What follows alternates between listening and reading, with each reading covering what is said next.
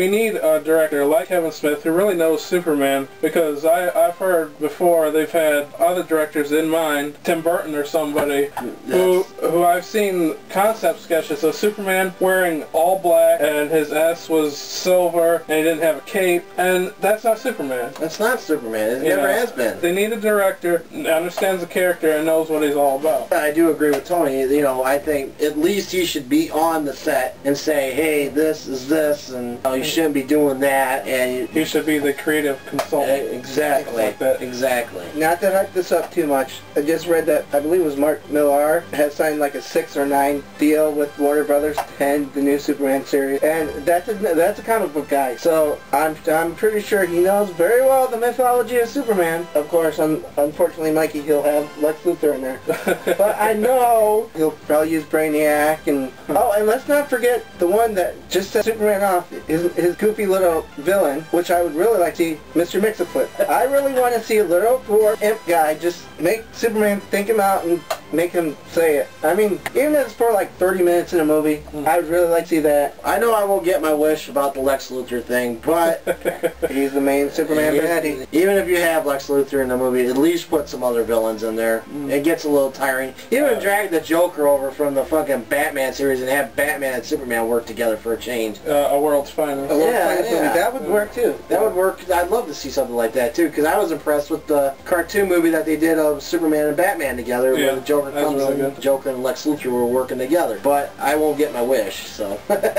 But that, I think that's what they need is, is like a team up. I think a really good team up would be Lex Luthor and Bizarro. Another good team up would be Lex Luthor and Metallo because he he has teamed up with these characters before. In fact, he even created Bizarro. Nuclear Man is is basically just a poor man's Bizarro. they could have they could have done that a lot better. Hey, let Lex Luthor in jail for a few movies and just let it go, you know, just give it up on Lex Luthor for a while. Let us enjoy other villains. Even create the fucking Justice League in the fucking, you know, movies too. I'd actually enjoy that too. We're, uh, we're not the ones that write the shit. We need to get rid of some of these old farts in Hollywood who do write this shit. I'm tired of seeing it. It's not right to us. We're the fans. We should be the one that decides who writes them and who doesn't write them. I You would, know? I would love to be a test audience for a movie for once. It's always out in California. Well, how, why is the California and Right. Arizona people New York, yeah. New York letting us know what we want when it clearly isn't what we want? Right. Yeah. Every region in the United States is different. Yeah. What may work good here may not work so good somewhere else. Mm-hmm. Yeah.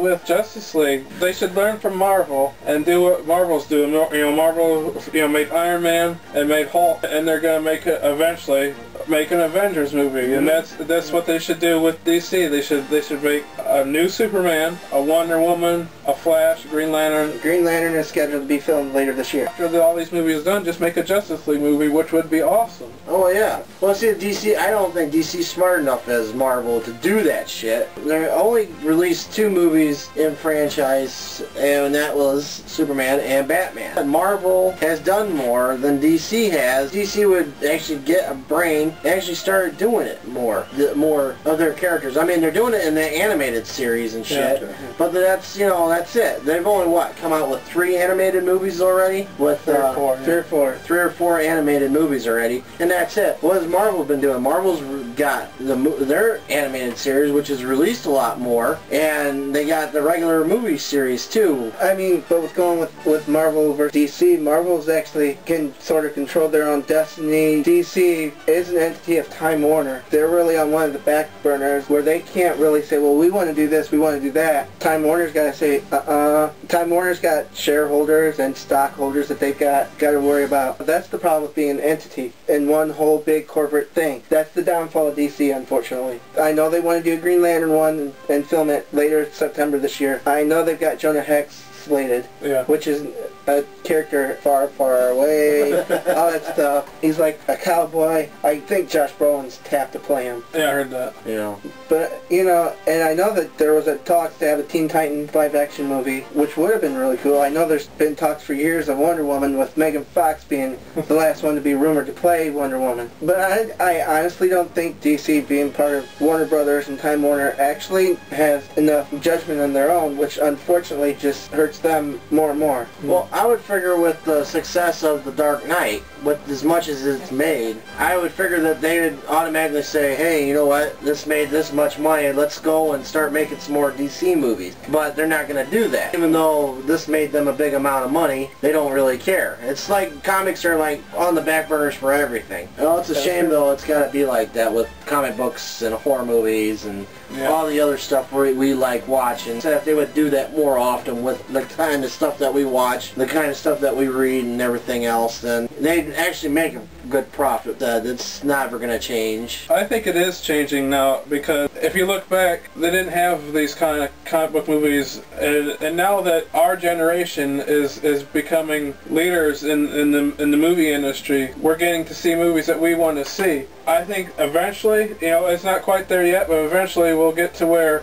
the movies are our movies. These are the, these are movies that we like, Be- because eventually, we'll our age people will be up in the executive levels, and you know these old farts are going to die off, and, and we'll have new people eventually in there. And exactly like Dark Knight Returns. Uh, that was good. I mean, that was brilliant. Just Yeah. the way that was made. Why can't, you know, there needs to be a Superman movie like that. Right. That just takes it all back to the beginning, makes it more about the character itself. I actually think we were a little bit lucky with Superman Returns because I heard rumor that it was going to be directed by Brett Ratner, I read every X-Men comic book twice.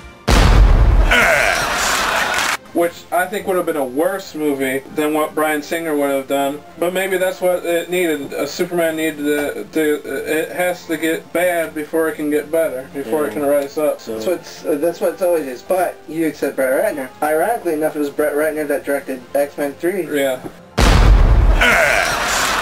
You didn't like that, but I really liked X-Men 3. I mean, and the first two X-Men was directed by Bryan Singer, which they were alright in some good parts here and there, but nothing for me. But X-Men 3 for me just was it. I'm totally opposite on you. I thought X-Men, the first one was uh, was good, the second one was excellent, and the third one was crappy for me. I think that they should have, Brett Ratner and uh, Bryan Singer should have switched. That way, X-Men 3 most likely would have been a lot better for me. We would have seen a new Superman in a different style with Brett Ratner. It could have been good, it could have been bad. Even if it would have been bad, then it would allow people to say, oh, this was the bottom of the barrel, this was terrible, and we should reboot it. With Bryan Singer's Superman Returns, it was more of, a lot of people were like, oh, this movie, eh, it's okay. They were more, more like, it's not bad, it's not good. If we had a really terrible movie, then it would be easier to say, oh, we just got to reboot it, but it's okay. And I, I would actually prefer, if they made a sequel to that one, then to reboot it. Um, last comments? Robin. Obviously, we all feel the same. Superman franchise does need to be rebooted. Unfortunately, with the first reboot, of course, comes Lex Luthor again. Sorry, Mikey. That's okay. But we do need to see, give me Darkseid, give me Brainiac, give me Mongul, give me, give me Kami. I mean, give me Nazis. I don't care. Give me something other than Lex Luthor all the goddamn time. We get it. We get it. He hates Superman to a T. What part of that don't we understand? We understand it just fine. Come up with someone that understands, just some screenwriter go out that understands the mythology of Superman and his villains. Bring it back to what it needs to be. Tony? Yeah, I have to say sorry again to Mike that if they do reboot it, I think they should have Lex Luthor, but have him team up with somebody, like I said before, uh, to, to bring something new into Superman. Like Ron says, they needed more villains. I would love to maybe be a, like a trilogy, like the last one be Doomsday, and then and then come back from Doomsday. That that's something I would like to see. If it's done just right. They didn't have a plan. That's what they need is a plan. Yeah. Well, um, I uh, totally agree with you guys. I ain't gonna get my wish. No Lex Luthor in the movies. So I'm a wishful thinker.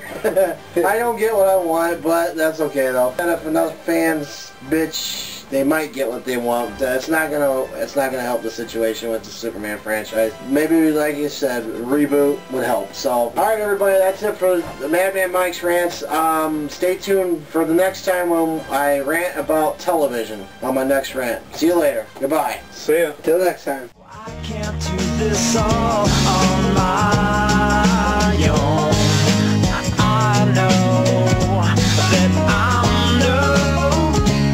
Superman.